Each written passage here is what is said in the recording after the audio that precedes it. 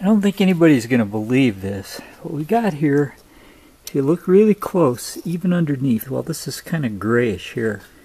But what I made is white gunpowder. And I've never seen this before ever. You can look real close at it. If I can focus in, I don't know. But it's all, if you take and look at one of these, one of these crumbs, like right here, underneath it's still white like white gunpowder. Now over here, this hasn't dried completely like the other side, but it's pretty, you can see it's turning gray. It wasn't quite dry, so I'm kind of playing with that. But this all, this was a technique, and I don't know what it's going to be like when, you know, when it's used. But if you look at this, it's, it's uniform throughout the entire mix.